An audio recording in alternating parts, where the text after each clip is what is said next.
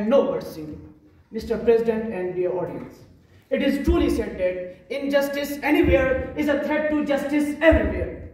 A couple of days before, I saw a heart-tending spectacle on a news channel. I saw a respectable Muslim lady who had covered herself with a piece of cloth and was sitting in a marketplace in front of a mosque. Only her eyes were visible. Her eyes were full of tears.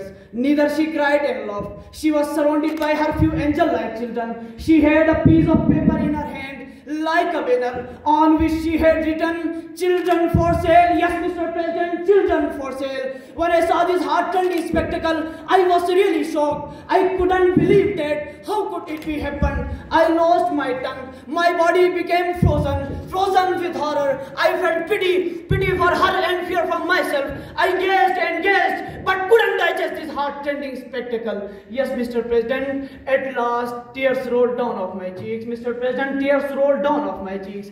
I felt myself so weak, so helpless, and so hopeless. I thought to myself that I was born free. I was tied that dead and the crown of universe. I was supposed to I was supposed to rule the heaven and earth. But Mr. President, but myself that I was not free. I was in chains, some invisible chains. And it is so because Mr. President, injustice anywhere is a threat to justice everywhere.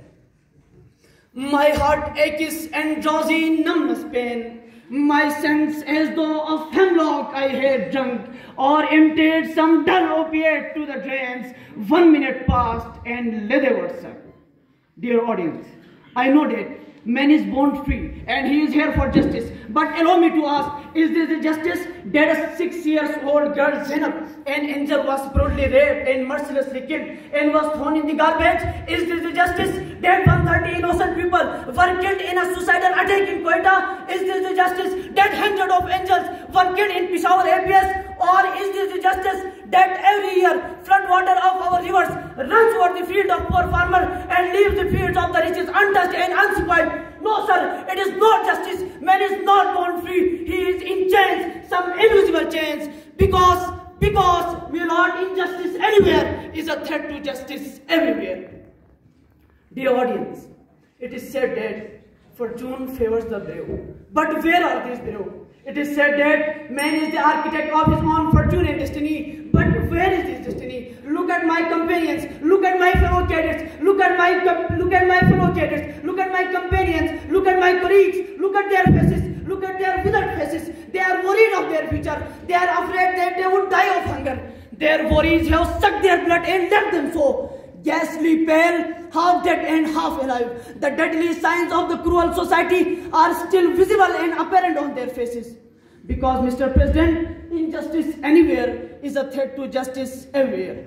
My dear audience, we live in a society, a man-made society, where we have lack of food, low level of nutrition, gross inequalities of income, unemployment, and above all, we are the victim of a kind of social uselessness. It is said that every cloud has a silver lining, but where, Mr. President, where? Oh, lift me as a wave, a leaf, a cloud. I fall upon the thorns of life, I bleed. A heavy weight of hours had chained and bold. Because, Mr. President, injustice anywhere is a threat to justice everywhere. Thank you.